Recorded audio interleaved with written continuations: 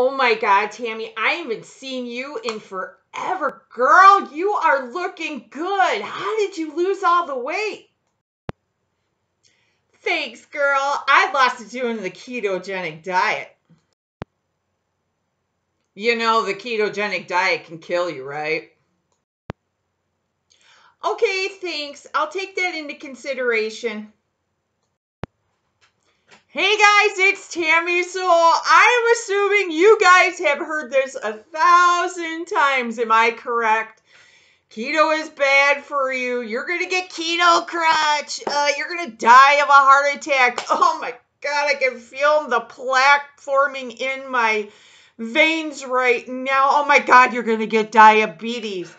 Um, I have heard everything from soup to nuts. And trust me, with me being with heart failure, me being with dilated cardiomyopathy, hypertension, you know, oh my God, the ketogenic diet's gonna ruin your thyroid.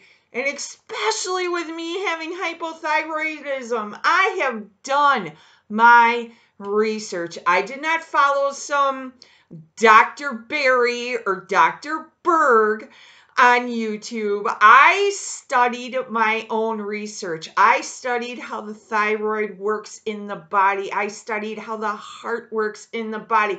I studied how food works in the body and how it's metabolized and how it's used and everything like that, you guys. Okay. I studied my, I'm still studying to this day.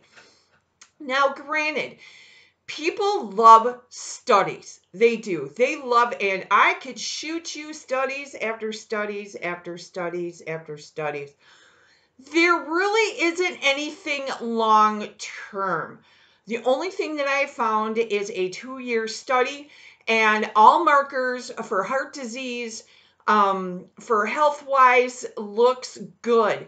Um, if you were going to talk about, oh, we ate like this back in the caveman days, no, we did not eat like this back in the caveman days. I don't care what the hell you say. We did not. We have food available to us 24 7 at the grocery store. They did not. They also ate fruits when they were in season. On keto, you're only allowed berries.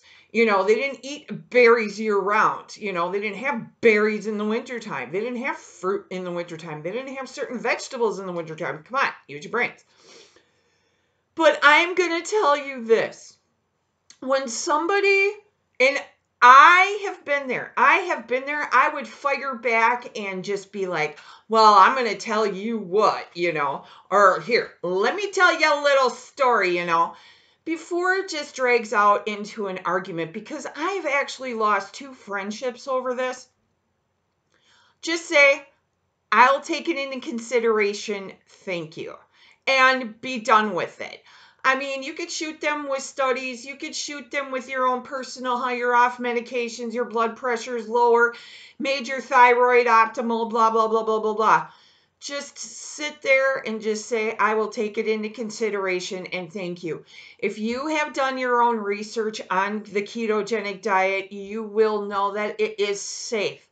I mean, basically, what you could be saying is, um, I cut out all processed foods. I no longer do fast food. I cook at home. I incorporated more fruit, uh, fruits and vegetables. I don't have brain fog anymore. My diabetes is cleared up.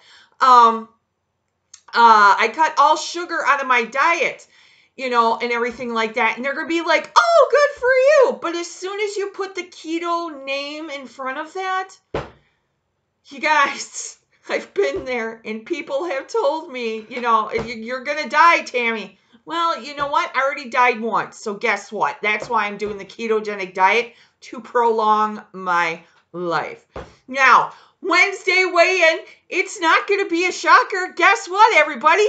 I gained weight. That's right, because for the past six days, I've maybe got about three hours of sleep. And when you do not have enough sleep, it's not enough recovery time, especially if you work out in the gym. It sets your hormones off. It throws your whole body out of whack. So last week I weighed 194.3. This week I weigh 195.5. And I'm going to tell you something. I'm not stressed about it. I'm not, you know, okay, I would love to get more sleep. I really would. This week, this past week, has just been a little stressful for me, you know? And, you know, I've done everything to try to relax, to rewind, light candles, take a bath, do all that stuff. Nothing helped. Only maybe three to four hours of sleep. So by not getting any sleep, my whole body is just saying, bitch, you need to get on track. All right. Honestly, it does. And so this week I am going to be taking some melatonin.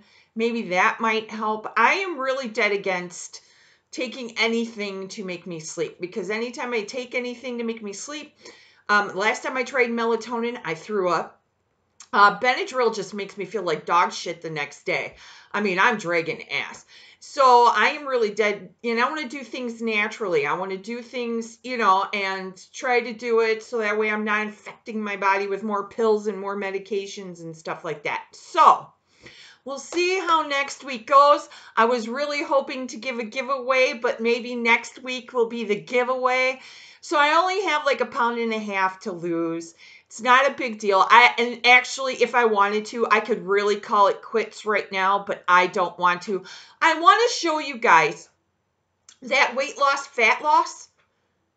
Fat loss is like this. It's a slow downward slope, okay? Slow downward slope. This is fat loss, okay?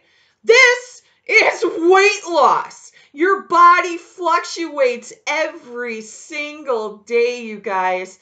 And it's a pain, especially when you're on your, you know, your last legs, on your last five pounds. It's a pain in the butt. Uh, I've been there before. It took me six months to lose my last 20 pounds. I just hope to hell it doesn't take me another six months to lose a pound and a half. I really want this journey to be over with. I wanted it to be over with by the end of February, but obviously that uh, did not work out. Or no, the end of March. The end of March. I wanted it to be over by the end of March, and obviously that did. No, was it the end of February? Yeah, it was the end of February. The end of February, and obviously it's taken a little bit longer than I expected. But it's okay. I mean, like I said, I could quit right now if I wanted to. I'd be happy with it, you know, but I'm going for the other pound and a half. But I will talk with you guys later. I hope you enjoyed that. If you liked that little comedy skit in the beginning or think I'm just a big dork, put it in the comments below. Also, put in your response when somebody tells you that the ketogenic diet isn't good for you. Put that in the comments below. I'd love to hear from you guys. I will talk with you later. Have a great day. Bye.